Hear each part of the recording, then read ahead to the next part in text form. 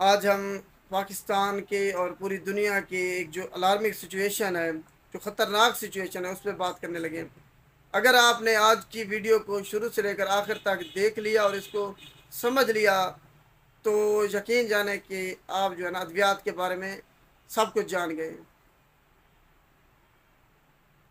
Antibiotic resistance दुनिया में जो है ना सबसे जो अलार्मिक सिचुएशन पैदा कर रही है एंटीबायोटिक रेजिस्टेंस है कि आम अल्फाज में कि एंटीबायोटिक इंसानों पर असर छोड़ रही हैं आहिस्ता आहिस्ता एक अंदाजे के मुताबिक पाकिस्तान में 2050 तक एंटीबायोटिक्स जो है ना, पाकिस्तानी अवाम पर असर करना छोड़ देगी।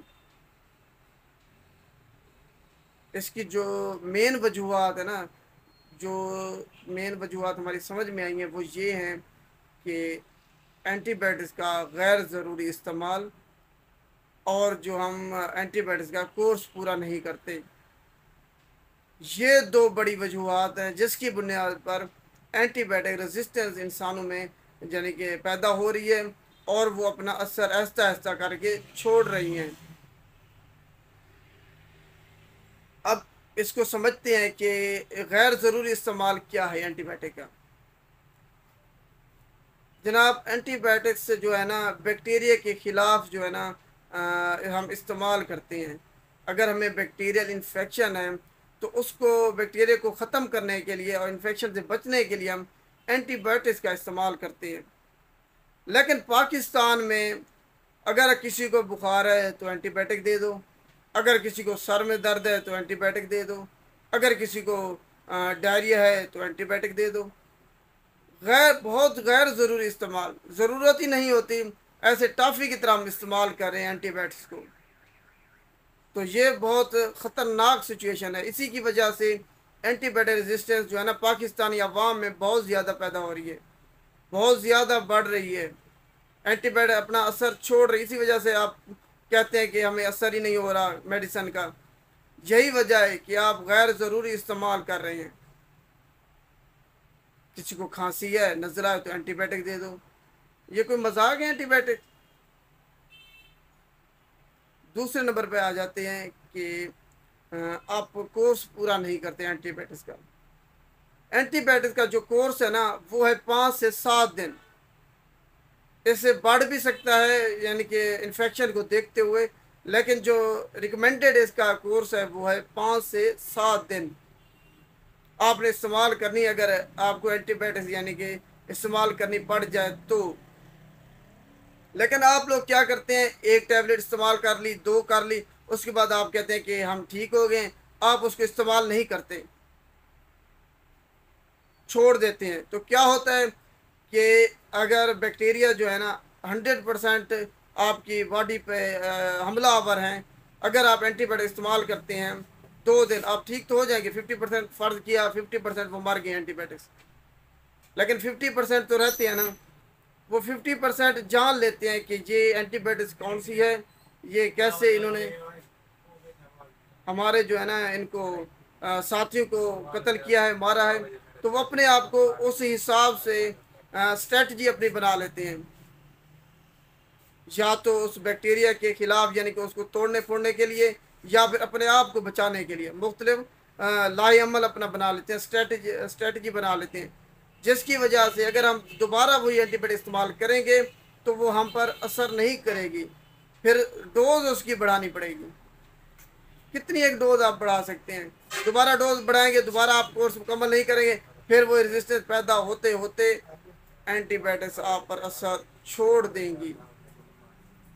तो इस बात को समझें अगर आप एंटीबायोटिक इस्तेमाल कर रहे हैं तो उसका कोर्स पूरा करें। पाँच दिन जो है, पाँच से सात दिन जो उसका कोर्स है, वो पूरा करें। बेशक आप ठीक हो जाए या बेशक ठीक ना हों। एंटीबायोटिक्स का कोर्स आपने पाँच दिन पूरा करना है। ये नहीं कि एक दिन में आप ठीक हो जाए तो दफ़ा करें, हम मेडिसिन नहीं लेते। ऐसे आपने बिल्कुल नहीं करा, ये बिल्कुल ख़तरनाक सिचुएशन है। अगर एंटीबायोटिक आप पर एक दफ़ा से छोड़ जाती हैं तो फिर कोई और मेडिसिन है ही नहीं। अगर आपको कोई बैक्टीरिया कट लगता है, कुछ भी हो सकता है तो एंटीबायोटिक्स ही वैध हल होती हैं उस इन्फेक्शन को रोकने के लिए, बैक्टीरिया को किल करने के लिए। अगर आप पे एंटीबायोटिक असर करना छोड़ देंगी तो बस फिर जो है ना, इंसानी ज़िंदगी ख़त्म ही समझे। तो दो बातें एक तो मैं हुकूमत पाकिस्तान से गुजारिश करना चाहूँगा कि जो एंटीबायोटिक टैबलेट हैं, जिस फॉर्म में भी आती हैं, यानी कि जिस पैकिंग में भी, पाँच की पैकिंग में या दस की पैकिंग में तो वो पूरी ही, यानी कि सेल करनी चाहिए पेशेंट्स को। ये नहीं उनको ओपन करके एक दो टैबलेट नहीं बेचनी चाहिए। अगर पाँच की पैकिंग की डब्बी है, पूरी डब्बी बेचनी चाहिए। अगर दस की डब्बी है पैकिंग की तो दस टैबलेट ही बेचनी चाहिए। इससे ये होगा कि कम अज़ कम मरीज़ जो है ना एंटीबायोटिक रजिस्टर का शिकार नहीं होगा, इससे बच जाएगा।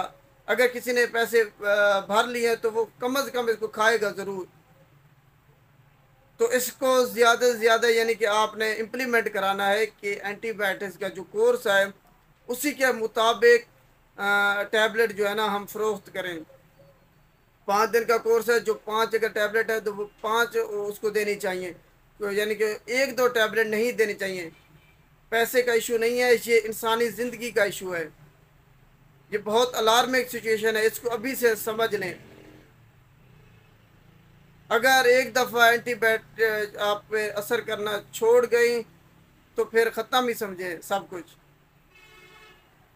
ये बहुत, यानी कि साइंसदान जो है ना इस बात पर बहुत परेशान हैं कि एंटीबायोटिक रेजिस्टेंस बहुत ज़्यादा बढ़ रही है खसूस पाकिस्तान में।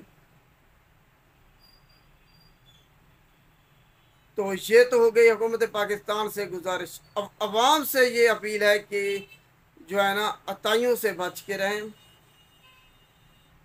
खुदारा अताइयों से बच के रहें।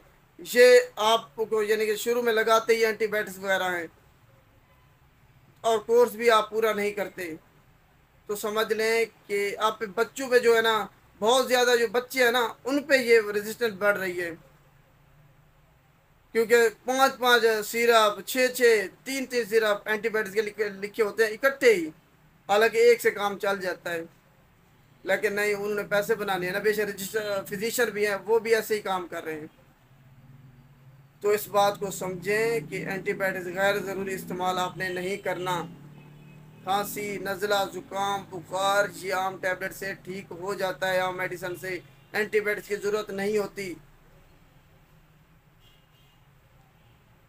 अब दोबारा से हम आपको बता देते हैं कि आपने एंटीबायोटिक्स का कोर्स पूरा करना है, जो पाँच दिन है। अगर आप ठीक हो जाते हैं, तब भी अगर आप ठीक नहीं होते, तब भी आपने जो है ना, अगर एंटीबायोटिक शुरू की है मेडिसिन तो उसका कोर्स जो है ना, पूरा करना है। और उसमें नागा नहीं करना आपने। और दूसरा, उसका गैर ज़रूरी इस्तेमाल नहीं करना। ये दो सिचुएशन हैं, इससे आपने बचना है। इसमें आपकी नस्ल की ही भलाई है, पाकिस्तान की ही भलाई है। अगर वीडियो अच्छी लगे तो इसको लाइक कीजिएगा और शेयर भी, लाजमी कीजिएगा, शुक्रिया।